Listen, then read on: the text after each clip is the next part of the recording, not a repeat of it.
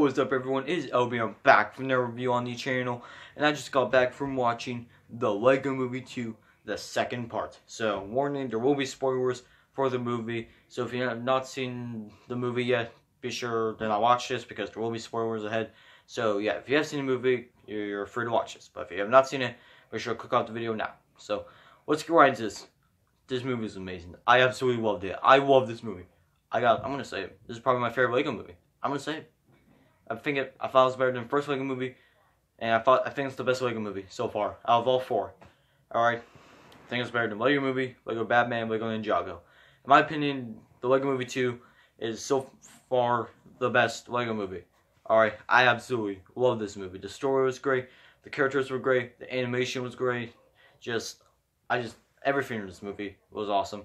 I absolutely love this movie, and yeah, there was two big shocks for me which was one where we find out Rex is actually Emmet from the future.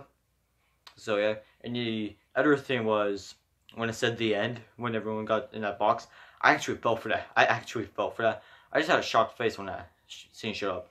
I was I can't believe I felt for that when it said the end after everyone got trapped in that box and then under the washing machine.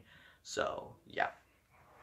Anyway, this movie was just incredible. I absolutely love this movie. I'm planning on seeing it again because I just absolutely loved it. Best Lego movie so far.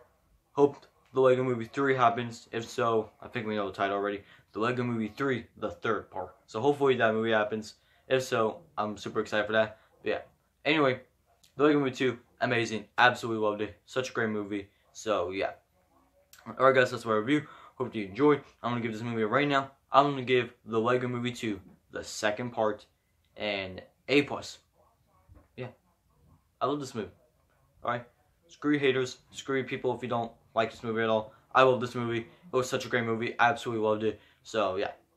So, that's my review, guys. Hope you enjoy. Be sure to stay tuned for my ranking of all four Lego movies. Uh, so, yeah. Hope you enjoyed this video. If you did, like, subscribe. Please subscribe. My goal is 1,000 subs. See you all next time. And as always, peace out.